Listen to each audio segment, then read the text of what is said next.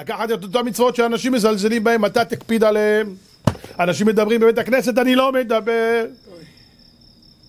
אנשים מרשים לעצמם לדבר חזרת השץ, אני לא מדבר. מדברים בקדיש, לא מדבר. לא עונים קדיש ואמן, בחיים אני לא מוותר על אמן. פיתחו שערים ויבוא גוי צדיק שומר אמונים, אומרים חז"ל תקרא אמונים אל האמנים. פותחים לו שערי גן העדן.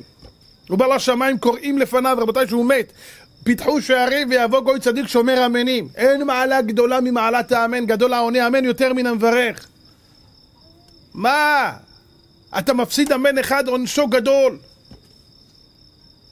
וכשעונה אמן יענה אמן לא אמן כתופה ולא אמן חטופה ולא אמן יתומה כל ההלכות הללו לשים לב עליהם אם אני לא אעשה את זה מה עשיתי? מה עשיתי? יש כאלה אומרים אמה מה זה אמה? בפרסית אמה זה אימא מה זה אמה? למה אתה לא אומר אמן? או יש כאלה? מן מן תאכל עכבר שמן מה אמן? מה אמרת? אמן. אמן. תגיד יפה כמו שצריך. כל אחד צריך לדעת, רבותיי, זה מצוות אולי, אמרתי אמן או לא אמרתי אמן. ליל שבת אבא עושה קידוש. לא משנה, ראש המשפחה, מי שעושה קידוש. אנחנו יושבים מסביב. אתה מקשיב, מכוון לצאת ידי חובה? יש כאלה, תעשה, תעשה, אני שומע. תעשה, אני שומעת. היא מורחת הסלטים והוא עושה קידוש והיא... לא יוצאים ידי חובה ככה. רבותיי, האישה הזו אוכלת בלי קידוש, האיש הזה אוכל בלי קידוש, הבן שלו בחדר אומר אני שומע. מה אתה שומע? ככה עושים קידוש? כדי לצאת ידי חובה יש כמה תנאים. תנאי ראשון זה בעמידה צריך להיות. תנאי שני יכוון לצאת והוא יכוון להוציא אותך. תנאי שלישי שזה בכלל שמוציא אותך מכוון להוציא אותך גם כן. הוא יודע לבטא את המינים נכון.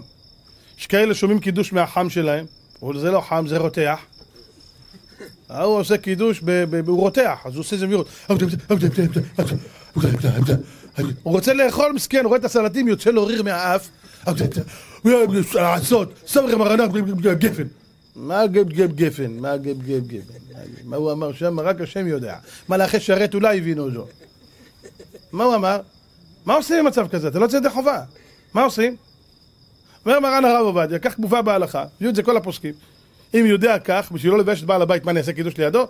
ייתן עיניו בכוס הקידוש ויגיד את כל הקידוש, יעשה ככה יד על העיניים כאילו הוא עושה כוונות, יסתיר את הפה שלו, וביחד איתו יגיד את כל הקידוש.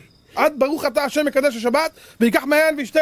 בבוקר זה פחות בעיה, כי זה רק ברכת גפן, לא בעיה, תאמר כוס, תברך גפן, מישהו ישימו לב שתהיה, יגיד לך, למה אתה שותה כל כך הרבה יין? יגיד לו, אני צמא. איזה טעים היין הזה, חבל לך על הזמן. מה אכפת לי?